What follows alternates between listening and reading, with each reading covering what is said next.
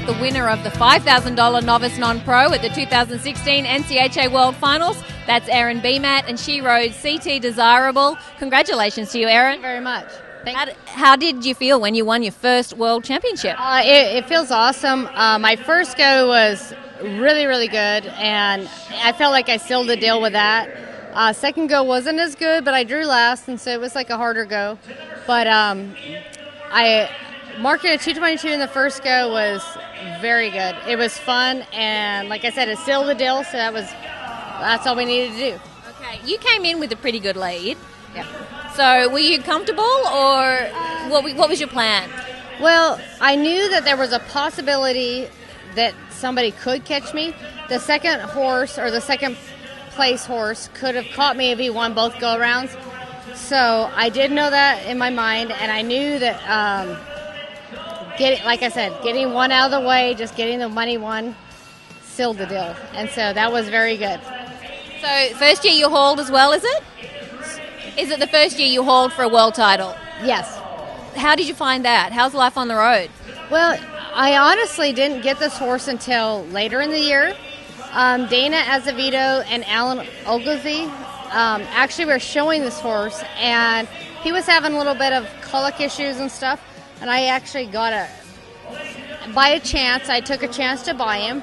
Um, he he's been good, and I so like they did most of the work at the beginning of the year. I didn't get him till later in the year, so I don't. As far as like just straight on hauling all year, I didn't have to do that, but I got him, and I just had to finish out the year.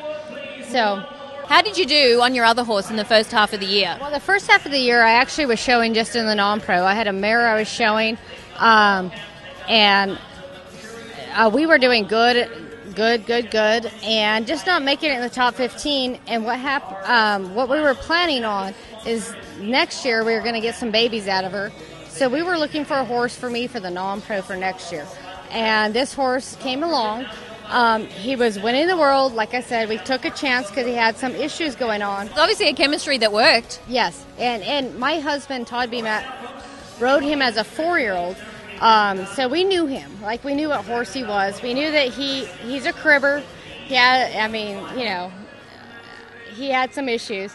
So because my husband Todd Bimat knew him, we knew that what we were getting into. So now, speaking of your husband Todd, he's also won a world championship. You've equaled him. Is it is it you know he's teaching you, or you know, is there any arguments, or is it a very cordial affair when you're both uh, training and working your horses? Um, for me, he's like the number one person. Like I just get lucky to get to do what I do. Uh, he always like I mean everything he does is like awesome. So for me, I literally I just get lucky to do what I do. So yeah, there's no like he's supportive. He is like, baby, go do it. And I just I try to do it. I do get frustrated and I get a little ornery sometimes because uh, like he'll be like, why don't you ride like you did yesterday? And I'm like, because I can't. Like, I'm a non-pro. I'm I'm not a trainer and. Um, so when that comes about, yeah. So we get a little bit arguments like he maybe wants me to be better than I feel like I can be, but for the most part, like he's my number one person, and I I just try to do the best I can do. Well, I'm sure he's very proud of you with this world championship. Are you going to hit the road again and haul next year? Uh, we're going to start the year out that way, um, and then we'll see what brings you know what comes about. Uh, we have a lot of good four-year-olds, so I think we'll start you know with the weekend stuff, and then if if these four-year-olds come along well, they're three now, but they'll be four. Um, if they come along good and he wants to do the age event, that will kind of be what happens. So, best of luck with it. Thank you. Thank you very much.